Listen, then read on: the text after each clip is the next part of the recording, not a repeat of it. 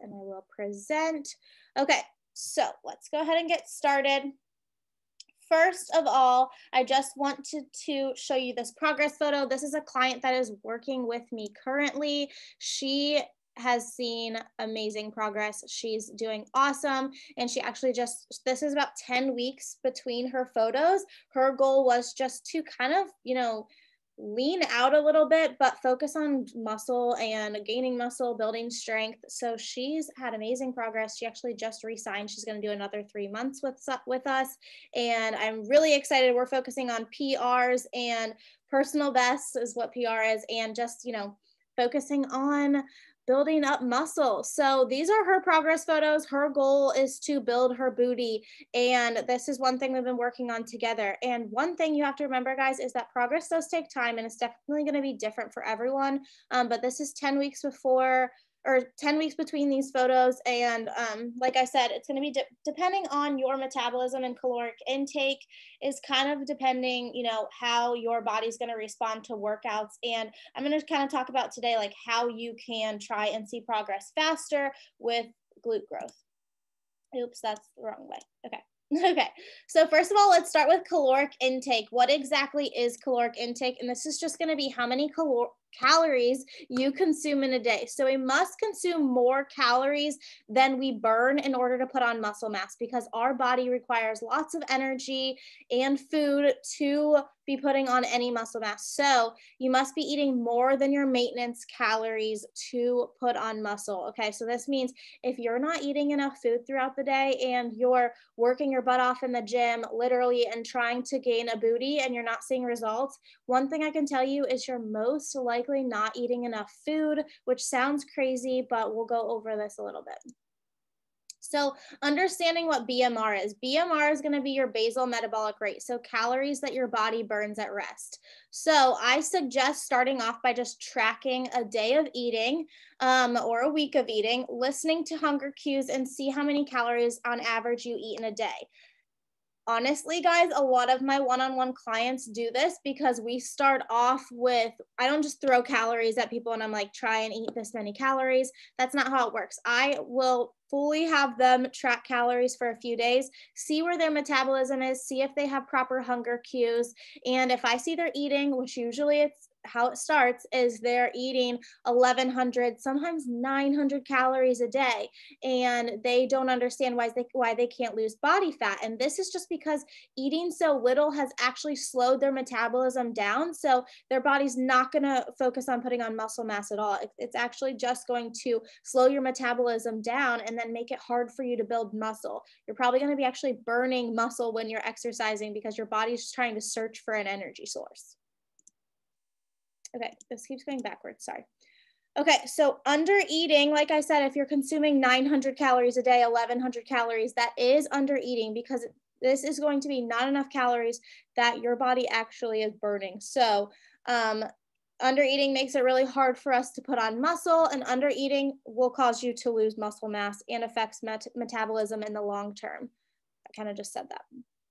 Um, so do you need to eat more? Yes. Does eating more lead to fat gain? No. One thing, guys, is I know it's really hard to really understand how much you should be eating. And this is what, what Kayla and I do with our clients is say a client comes to us and they're eating 1100 calories a day. We focus on increasing their calories just by a little bit each week because we want to get them to a good maintenance calories where their body is like getting comfortable with eating more. And then it's like, okay, I don't need to pull from muscle mass. I don't need to slow the metabolism down. I'm getting enough food that I can actually start to put put on muscle. Then when you put on muscle, you're going to be burning way more calories at rest. So making sure you're eating enough of the right foods, this like breaks it down into macros. Are you eating enough protein? Are you eating enough carbs? Are you eating enough healthy fats? Okay. You must increase your protein intake because protein is going to help us put on muscle mass and repair muscle that's torn when you exercise. Okay, so when you exercise, you're actually making little micro tears in the muscle. Protein is what rebuilds that and helps the muscle build and grow, like the glutes. Um, so going forward, um, I, this is my story. I'm actually eating more than I ever have in my whole life. Um, I also weigh more than I ever have in my whole life, and I feel and look way better than I have in my whole life. Um, and this is because I've gotten my calories or my maintenance calories and my BMR to so high that I can eat whatever food I want and not see fat gain. Yes, I go through phases where I have more body fat than, than normal. That's like depending on like if I'm eating more, eating less, all of that. But my goal over time, like I go through calorie surplus all the time currently right now um, because I'm focusing on building muscle mass. And then I may go through a small cut where I cut my calories a little bit um, just to look a little bit leaner, maybe for the summer. But as you can see in these photos, I was really tiny. All I was doing in the first photo was like Orange Theory, honestly. I was doing HIIT exercises constantly. I was running a lot, um, focusing on being skinny. And honestly, until I changed my mindset and focused on lifting heavier and feeling confident and all of that, I started to see such a huge change. I started eating more, I started increasing my protein intake, and now I've seen such a huge difference in my glutes. So, going into macros guys are macros are going to be your carbs protein and fats. I did go over this on the last lecture so if you missed it i can send you the slides for it because we went over nutrition and progressive overload during the last community call. But protein guys is going to be a macronutrient used to put on muscle mass and this is just very specific to growing your glutes because we need enough protein in order to put on muscle. So some examples of proteins are going to be like meat beans, eggs. Um, my favorite protein sources are going to be like whey protein, lean turkey, chicken, eggs, egg whites. Um, some of my favorite like high protein meals, I'll make like cauliflower rice, brown rice, chicken sausage, veggies, and mix it all together, put an egg on top. And it's usually like at least 25 grams of protein, and that's going to be my lunch. So I really focus on high protein meals. Um, I still eat lots of carbs. You want carbs for energy, guys. So make sure you're not cutting all carbs. You don't have to be cutting foods um, out of your diet. One thing that um, I preach and Kayla preaches about to our one on one clients is you can still eat foods that you love because it fits in that calorie breakdown. You know, if you're trying to put on muscle, yes, you need to be increasing your protein intake, but it doesn't mean you can't go out on a Saturday night and have french fries or nachos or something like that. You still have to find what's going to work for you and what's going to be sustainable. So, um, highly suggest maybe taking a screenshot of this. Like I said, if you want to um, see this again, I can email it to you. Just send me an email.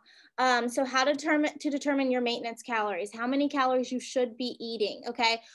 I don't suggest though that you go into MyFitnessPal and put this in. Like I said, I suggest talking with a coach, email me, um, ask me questions because if you're only eating 900 calories and then you go in and you calculate your maintenance calories and you say, or it says that you should be eating 1600 calories, if you all of a sudden jump to 1600 calories, your body's going to be like, oh my gosh, what's going on? And likely it's going to store all of those extra extra calories. So this is why we put our clients through a, rever- a reverse and it's safe to do with a coach because they slowly will increase your calories for you and help your metabolism get rebuilt.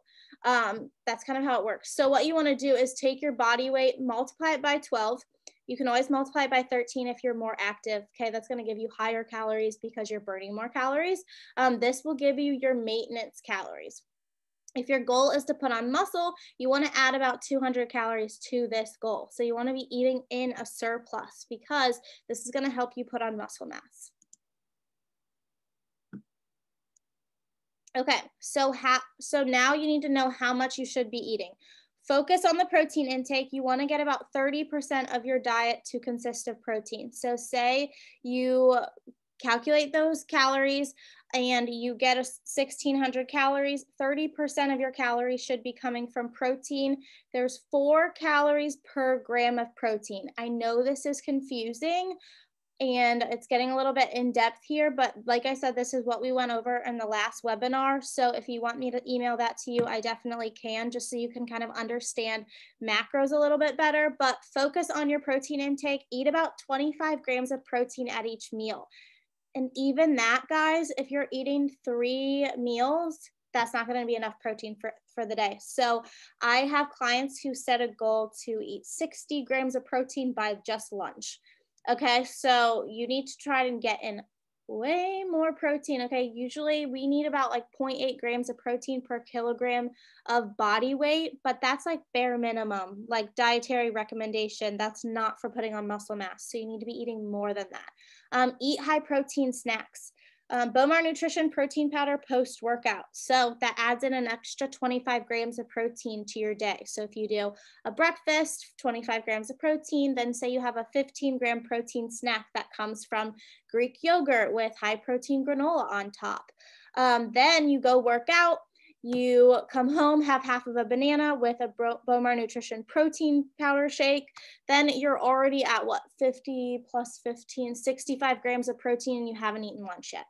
That's ideal, okay? Because then you're gonna have lunch, 25 grams of protein. There you're gonna be at 85 grams. Then you're gonna have another snack, dinner, all of that. I know I'm kind of going down the rabbit hole with this, but I'm just trying to reiterate that you do need lots of protein to put on muscle. Okay, now let's talk about exercise and working out. So how should I work out to gain a booty? Uh, you really want to focus on progressive overload. This is going to be increasing the stress on the body or the muscle group in order to see results, okay? Because increasing weight, so say you're going to the gym all the time and you're doing walking lunges with 12 pound dumbbells and you've been doing this for three months and you're like, why do I not see more muscle in my legs? This is because your body's so used to lifting that weight that it's like, oh, okay, like I don't really need to build muscle because I already have enough muscle to lift this weight. So what you have to do is kind of trick your body into lifting heavier, um, increasing the weight, the resistance or frequency of the movements in your training split. Um, something we program for our clients by adjusting protocol. So over time, we'll change the rep count. Um, we will tell them to use resistance bands. We will tell them to lift heavier on certain lifts. Um, they send us form videos of them doing deadlifts. And we're like hey you're that form looks awesome but i think you could be lifting 30 pound dumbbells instead of 15 and then they go ahead and do that and they're like oh wow like i feel so much stronger. Then they move that up like week after week. So increasing the weight that you lift in the gym is going to be really important for progressive overload and seeing glute growth some exercises that I love for glute growth are squats, deadlifts, and hip thrusts far stride walking lunges. So that means, yes, regular walking lunges, but taking a little bit further of a stride is going to engage your glute a little bit better. And then rear foot elevated lunges, that's just where you have a bench behind you. They're also called Bulgarian split squats. So you have a bench behind you and one foot is on the bench and the other foot is forward and you're in that lunge position, leaning your chest forward slightly and engaging the glute with every rep. You can lift heavy on all of these lifts, guys, but I highly suggest um, asking someone to look at your form. You can send Kayla and I a video of your form. And, you know, if you're like, hey, like, I'm not sure if my squat form looks right or my deadlift form looks right. Also, this is why we also, we have the uh, Facebook group, the Burn Babes Facebook group. This is somewhere you can ask everyone for tips on your form. Um, how does my deadlift form look? I'm really in, like interested in increasing the strength of my hamstrings and I want to lift heavier. Um, so that's one thing I really suggest. Uh, where did I go? Okay. All right, another thing is glute activation. So, oops, someone's in the waiting room. Okay, glute activation. So warming up the glutes to increase the use of the glutes during the exercise. So this would be like using a band. This would be like using a band. Um, this could be doing squats. Um, make sure you're doing acclimation sets when you do squats. That means like starting with the bar and then adding a little bit of weight and then getting to the weight that you're going to squat with and then doing your sets. So not just jumping under a barbell of the weight that you want to use and doing your sets. You need to make sure you build it up and we're really focusing on the glute activation, mind muscle connection as well. So think about squatting and like putting your feet into the floor and spreading the floor and standing back up and squeezing your glutes, okay? If you really think about what muscle you're using, your body is going to recruit that muscle more. Sounds crazy, but it's true. When you're doing hip thrusts, think about the glute squeeze. Take your time. Don't rush through movements, okay? So super important to do glute activation, especially if you sit all day because your your booty is actually going to be turned off because it's like, okay, like I don't really need this right now. Um, I don't really need to um, use my glutes right now. So when you get to the gym, uh, make sure you're doing things like banded glute bridges. So this is kind of a lot for a slide, but like I said, you can take a little picture of this with your phone or something, or I'll email it to you.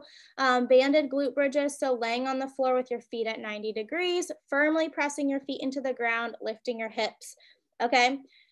Um, squeeze your booty at the top, hold, and then come back down, perform 15 to 20 reps, but you don't wanna be going to fatigue. So you shouldn't be like burning out your glutes before you're even getting started. Um, same thing with banded lateral steps, a band around your knees.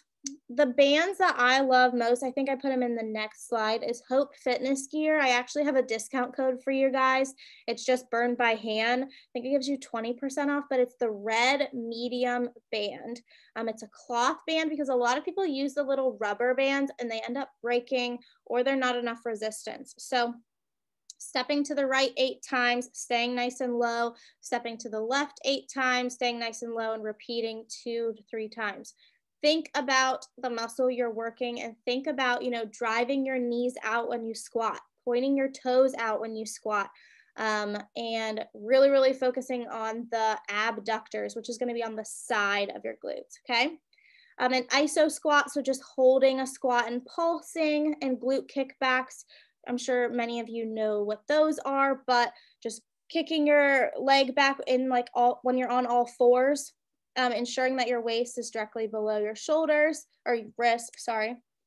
Um, and your knees directly below your hips, and then kicking your leg back, squeezing in the glute, hold for a second, don't rush through these, and then completing about 15 reps. Okay, so one reason and why I've noticed that a lot of people don't see glute growth is because they're number one, under eating, like we talked about. You have to eat enough to put on muscle. Okay. You can't expect your body to be able to put on muscle if you're eating 1200 calories a day. You can't get into the mindset of I'm focusing on the number on the scale. I'm um, trying to stay a certain size and you know don't see glute growth because you can't do both at one time, if that makes sense. You have to eat in a surplus in order to put on muscle. Um, a lot of people also don't use progressive overload, so they're not following protocol from a coach so they don't know what they've lifted in the past. So if you go into the gym tomorrow and you back squat 110 pounds, but you don't remember what you squatted last week, it might have actually been 120 pounds and you're not utilizing progressive overload because you're not lifting any heavier. Um, also, people aren't lifting heavy enough, but one thing you have to remember is you want to make sure your form is good before lifting heavy. Obviously, we don't want any injuries. And then a lot of people are not following a program. I do have a, a few guides, I think Taylor has one. Uh, it's the Booty Boot Camp program that's on my website for purchase. Obviously, this isn't going to be personalized to you, um, but it is like glute growth exercises. If you're looking for something that's going to be like the nutrition personalized for you and the workouts personalized for you, that's when you can really, you know, message Kayla or I, tell us you're interested in the program um, because we can personalize a program for you that will help you see results over time. Tracking your progress is really important too. So take photos, take measurements, um, track your personal best so you remember how much you've lifted in the past, and hire a coach to build a, build a program for you, just like I said. Um, it's really important that you're tracking your progress, guys, because usually you don't give yourself credit for how far you've come. Sometimes um, I'll have clients who are saying they're really disappointed. They don't feel like they look any different. And then I send them their progress photos and they're like, oh my gosh, I can't believe this is me like what? Like i had a client tell me yesterday i can't believe this is my body just because she compared her photos side to side and she had been so disappointed in the past and i'm like girl look at your photos you look amazing like like look at this and she's like oh my gosh no way like yeah you're right all i needed to do was compare them side to side like and you have to be confident be confident in your body be confident in the progress and the work that you've put in and i promise that's how you're going to make strides.